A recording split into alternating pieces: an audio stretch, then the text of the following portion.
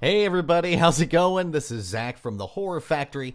Today is September 10th, and and today today something really weird happened.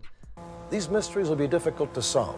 Uh, my doorbell rang, and nobody was there. Uh, there was one thing there though. Some old cylindrical tube package thing.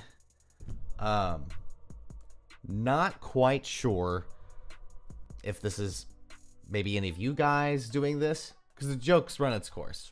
I think at this point, I get it. There was a creepy doll, creepy doll in the thing. Yeah, yeah, yeah. He does a horror channel. Let's let's scare the horror guy. Um, how you guys got my address, I have no idea. Um, but needless to say, things have uh,